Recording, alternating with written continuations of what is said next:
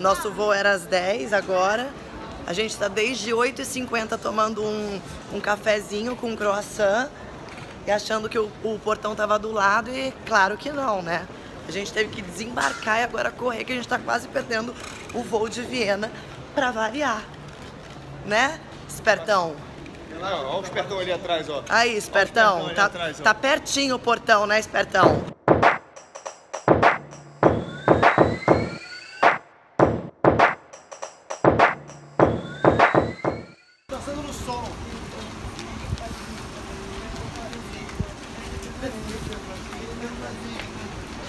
Olha as pessoas olhando os loucos brasileiros.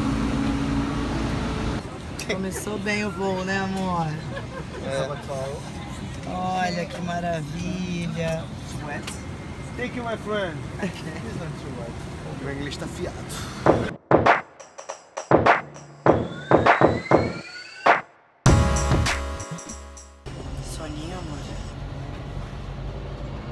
Quantos filmes você assistiu no avião? Quatro e um terço. E agora você tá como?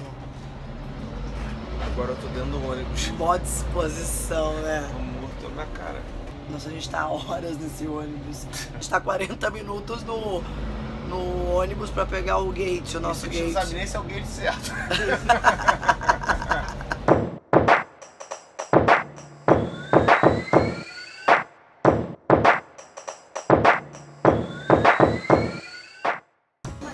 Azar. O Maurinho sabia que ia dar certo, né, amor? Sempre. Nunca perdi um voo em 20 anos de profissão. Nunca? Nunca. Já Que sim. isso, hein? Acabamos de chegar na Áustria, exaustos, cansados, horas e horas e horas de voo. E aí a hora que a gente veio pegar aqui as malas, o que, que aconteceu? Bruno se deu conta de que esqueceu a mochila dentro do avião. Eu tô aqui, ó, com a minha bolsa, minhas malinhas, Maurinho também, ó, com a malinha dele, mochila e Bruno o quê? Deixou a dele dentro do avião. Tem um problema, né? Toda viagem ele esquece alguma coisa. Pois é. Aqui é o seguinte, você esqueceu, eles têm como perdido. E aí você tem que esperar um dia pra conseguir pegar sua mala, que tá ali, ó, a 300 metros dentro da aeronave. E aí, o que que ele falou? O quê? Eu vou correndo lá pegar. Vou pegar de qualquer maneira. Só que ele não sabe nem o portão que a gente desceu, nem aonde é. E não fala alemão. Não fala alemão, não fala inglês e a gente tá aqui esperando pra ver o que que vai dar esta merda.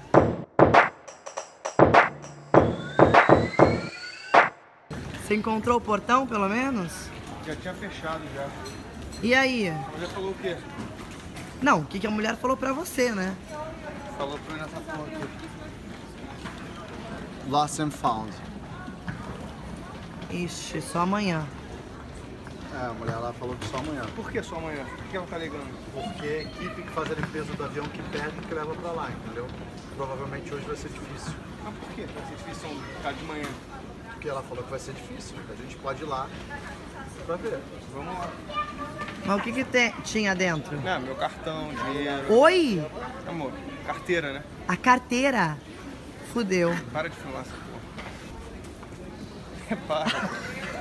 Tô irritado. Maurinho se fudeu nessa. Agora vai ter que pagar tudo mesmo pra gente. Meu cartão não tem limite. Chega. Tudo é golpe, eu acho, sabia? Acho que tudo é golpe. É, eu acho que é mentira. Que ele botou dentro da mala.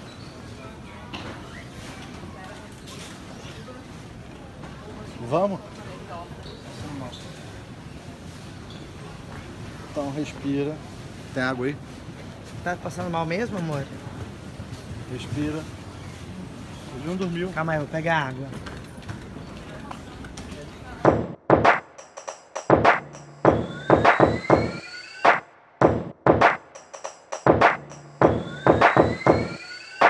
Acabamos de chegar em Viena. Viemos num restaurante super tradicional daqui, ó.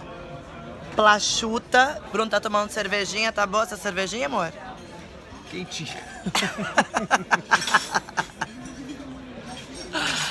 Não tá quente mesmo? Super agradável. Deixa eu ver.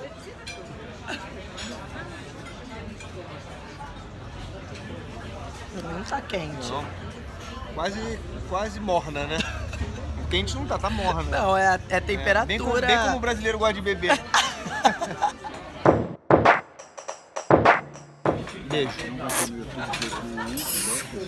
O fuso horário aqui é, tem diferença de 5 horas.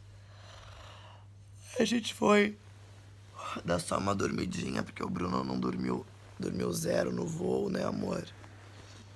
A gente acordou o quê? 10 horas da noite. Claro que a gente não vai ter restaurante pra ir, porque aqui é a Áustria, vai ter restaurante 24 horas.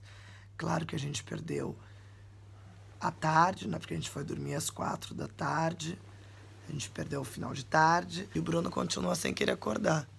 Eu falei, liga lá pra baixo pra juntar as camas. Mas não, assim dá. A gente dorme juntinho. A gente dorme juntinho. Hein? E agora? Ai, meu cox! Teu quê? Cox? Cox. É Cox? É chique? Ai, amor, tira daqui. Tá fora do Brasil é Cox. Não consigo. Brasil. Cox, amor, cox. No Brasil é Cox. Cuidado que eu tô. Ai, talei!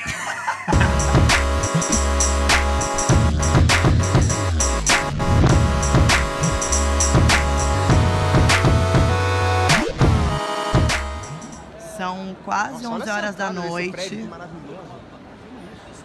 E tem uma galera aqui tomando sorvete, bebendo uma cerveja. Caraca! Olha o tamanho desta loja da Swarovski aqui em Viena. Olha, olha o poder. Gente, juro por Deus, eu tô assim, ó, quase chorando. Olha aqui meus olhos. Quase chorando que eu tô no último ravioli. Esse restaurante, fala amor. Qual o nome do restaurante? Fábios. Fábios. Maravilhoso. Bem aqui no, no centro Isso é uma dica de boa. Viena.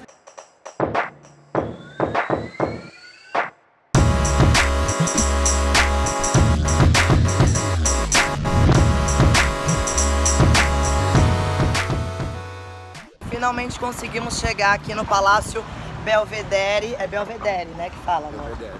Que é o palácio. Olha que lindo.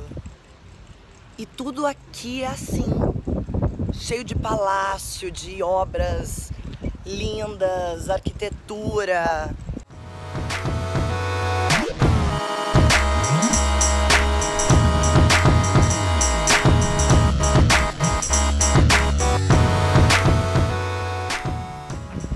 Adorei a Fat House. Também. Gostou, amor? Gostei. Fiquei muito impressionado, porque nunca tinha visto uma casa que fala. O que foi? Você já tinha visto uma casa que fala? Nem meu sogro, que é arquiteto, faz um. Amor, sabe o que eu tô mais amando hoje? Ah. O seu humor sarcástico. Você tá com uma energia hoje. Tá ruim minha energia? Gente, eu dei um. Tá ruim minha energia? Eu dei um antialérgico pra ele, que a gente tá meio alérgico aqui na Áustria. Amor, ele tá se arrastando hoje. Sabe aque- aquela energia de 220 dele? Hoje não existe. Cara, mas eu gostei da casa. Por isso- Ah, vou tomar uma cerveja quentinha agora.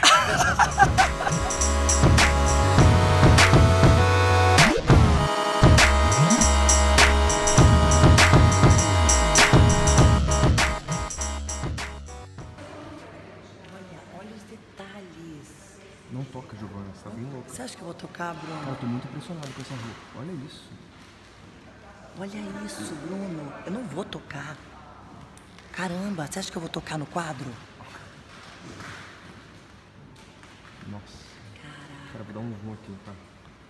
Olhem isso, gente. É muito impressionante. Não, olha as rendas ali em cima. É muito impressionante. Chocante.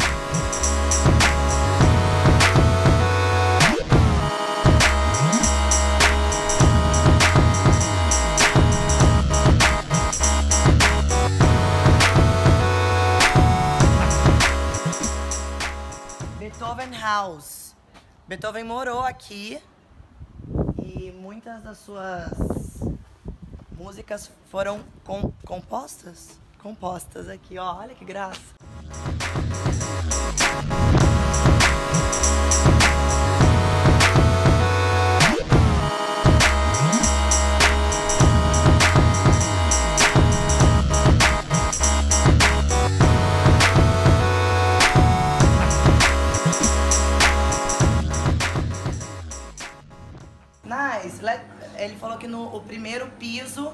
Onde Beethoven morava. Vamos lá? Vamos. Next next year is a museum. Ah, good. Next Huh? year. Next year, yeah. Falou que no ano que vem vai virar um museu. Olha que legal. When you like the museum now, is in the Reukergasse. Ah, there? Yeah. It's Ah. five minutes from here. Ah, e a cinco minutos tem, tem um museu que a gente pode ir. Nice. Thank you. Thank you very much.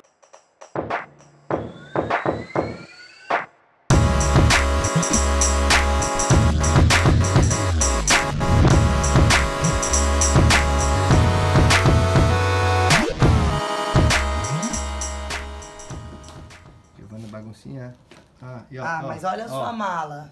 Ué, são as duas, minha e sua, ué. Ué? Olha que eu te queimo com o Babyliss, hein?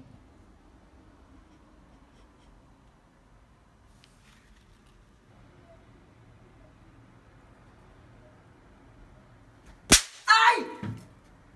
Ai, meu ouvido, Bruno. Puta que pariu. Nunca fui num lugar que tivesse tantos lugares tão maravilhosos como aqui em Viena. Olha aqui. Olha isso. Isso daqui é uma porta. É uma porta giratória. Chocante.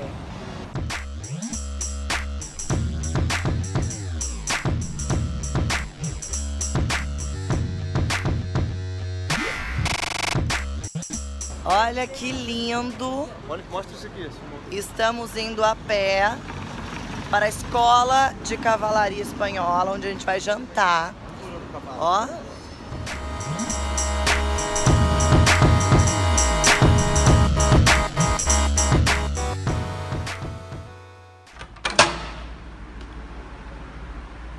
A gente entra no camarim, depois de um trabalho, e vê o? O glamour dos artistas, ó. Muito glamour. Meus pés estão moídos. Sapato bem pequeno, né? O salto 20. Os brincos já arranquei, o cabelo já. Gente, duas horas e meia de mestre de cerimônias em cima disso daqui. Vocês acham que é fácil? Eu fiquei lá linda, né? Mas chega. Bruno tá ótimo. Fala alguma coisa, Bruno. Linda.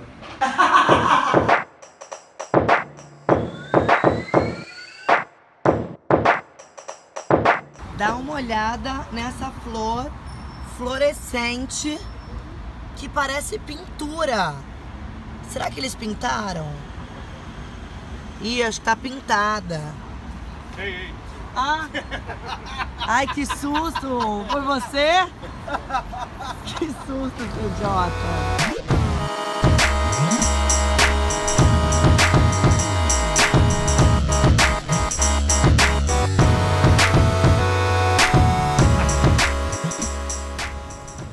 Ai, Bruno.